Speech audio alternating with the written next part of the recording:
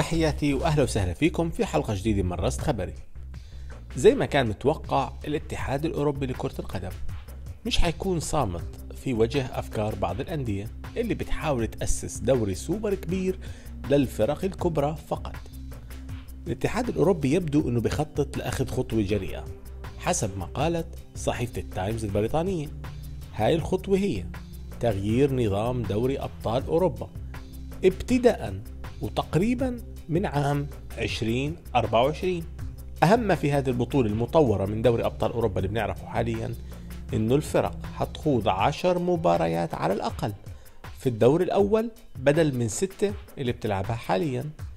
وممكن يتضمن الموضوع رفع عدد الأندية المشاركة في دوري أبطال أوروبا إلى 36 نادي بحيث يلعب كل فريق مع عشر فرق مختلفة. وراح يتم تصنيف هذه الفرق إلى مستويات وبيلعب الفريق مع فرق من مستويات مختلفة خمسة من المباريات على ملعبه وخمسة خارج ملعبه. الخبراء بيقولوا الهدف هو زيادة عدد مباريات الدور الأول المثيرة للاهتمام بدلا من النظام الحالي اللي بنقدر نتوقع إحنا فيه 95% من المتأهلين وترتيبهم تقريبا من يوم القرعة. طبعا النظام حيكون كالآتي الفرق اللي بتحتل أول 16 مركز بتتأهل للدور 16 بحيث يلعب صاحب المركز الأول مع صاحب المركز 16 صاحب المركز الثاني مع صاحب المركز 15 وهكذا. في حين الفرق الثمانية من المركز 17 ل 24 هي اللي حتصير تروح على الدوري الأوروبي. هذا نظام بشكل أو بآخر أيضا حيضمن تواجد معظم الكبار في الدور ال 16 النظام حيشمل تعديل أيضا بنظام التأهل حسب بعض التسريبات. في ناس بيقولوا على الأغلب حيتأهل كل الفرق اللي بتوصل نصف النهائي للنسخة التالية في البطولة بغض النظر عن مركزهم في الدوري. وفي البعض بيقول ربما يتأهل كل اللي بيوصلوا دور الثمانية أيضا للنسخة القادمة مش بس نصف النهائي. طبعا الخطة هي ضمان حضور كل الكبار باستمرار. وقطع الطريق على البطولة الثانية اللي هدفها أساسا إنه فرق كبيرة زي مان يونايتد ميلان إنتر. شفناها بتغيب عن دوري الأبطال في الفترة الأخيرة. فقالت لا خلينا نعمل بطولة لحالنا إحنا. ليش فرق صغيرة بتاخذ مكاننا في هاي البطولة؟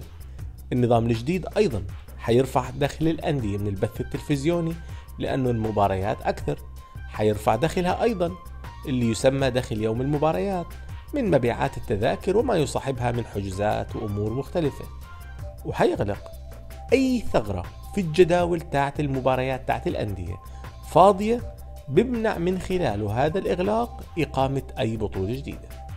نظام توقع المسؤولون أنه ينال موافقة رسمية قريبا. فحسب ما قالوا لارس كريستر أولسون اللي هو رئيس رابطة الدوريات الأوروبية واللي بتغطي 29 دولة يعني في العالم في أوروبا أنه المقترحات الجديدة تملك فرصة أكثر واقعية. من أي مقترح سابق للحصول على إجماع. الاتحاد الأوروبي لكرة القدم مش حيضحي أبدا في فلوس دوري أبطال أوروبا. للأندية لازم الفلوس نظريا بالنسبة له. تدخل على خزينته وهو يعيد توزيعها بطريقته. طبعا هو دائما حجته إنه أنا ما بربح أنا ما بدور على فلوس أنا ما في فلوس بتكون في البنك عندي لإلي. لكن هذه الفلوس اللي بتكون معاه هو يعتقد إنه يتم إعادة توزيعها بطريقة عادلة تساهم في استمرار تطور كرة القدم بكل الدول مش بس بالأندية الغنية فقط. فشو رأيكم أنتم في هذا النظام الجديد؟ هل شايفينه بينجح؟ بالنسبة لي شخصيا أعتقد أنه حيكسر روتين صرنا نعيشه بدوري الأبطال. تعودنا صرنا نشوف دوري المجموعات فعلا صار ممل. إيه، ما عاد في الإثارة القديمة. الفرق في فرق مستوى رهيب. عارفين مين حيتأهل مين مش حيتأهل. ربما كل خمس ست سنين تصير مفاجأة مفاجأتين في دور المجموعات زي ما صار السنة هذه مثلا. لكن في معظم الحالات بنكون عارفين شو عم بصير وشو حيصير لعند ما يجي دور 16 لعند ما تبلش البطولة تعيش إثارة. النظام الجديد ميزته يبدو إنه حيخلق إثارة حتى في المراكز. أنا ححاول أخذ المركز الثالث عشان بدي ألعب مع فريق أسهل في دور ال 16 لأني صرت عارف مع مين حألعب. وهذا بخلق نوع من التميز. سمعوني رأيكم في التعليقات والسلام عليكم ورحمة الله.